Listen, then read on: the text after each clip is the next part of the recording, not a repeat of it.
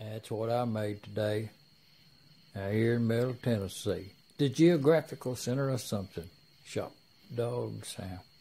To get serious about these fuel pump plungers, it is really it's it's it's of it's of all importance that if you have a fuel pump that leaks most likely, it's the fuel pump plunger shaft.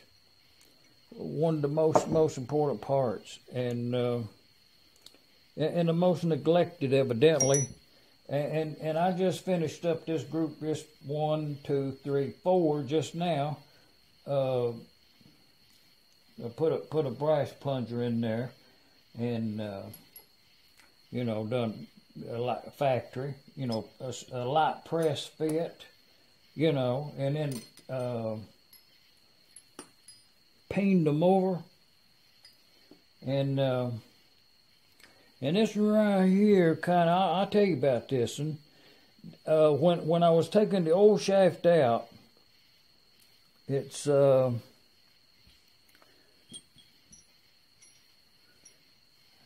being this one right here, it was tight in there.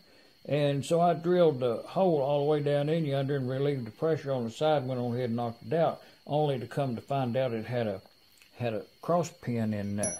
So I knocked that out, and then when I put it back together, uh, there's a pinned over end set in there tight. There was another one in the bunch. This one, th- this was in a fuel pump that that uh, that had a cross pin in it.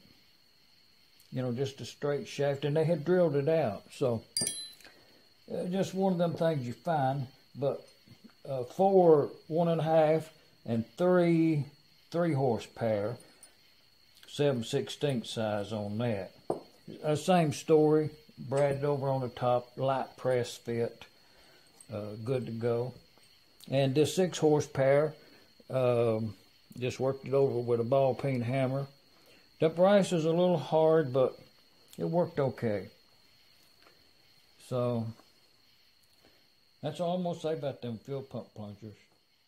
Now y'all come on back and we'll work on something else.